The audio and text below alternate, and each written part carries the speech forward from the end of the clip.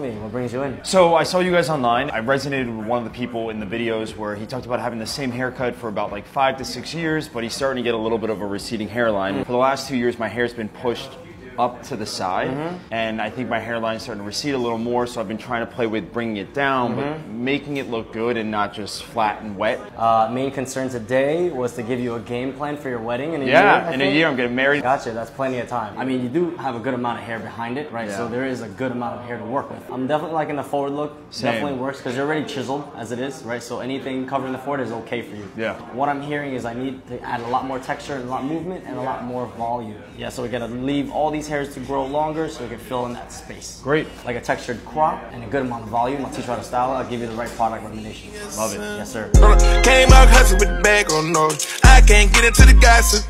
Bitch can't see me in binoculars. Running a check I'm proud of you.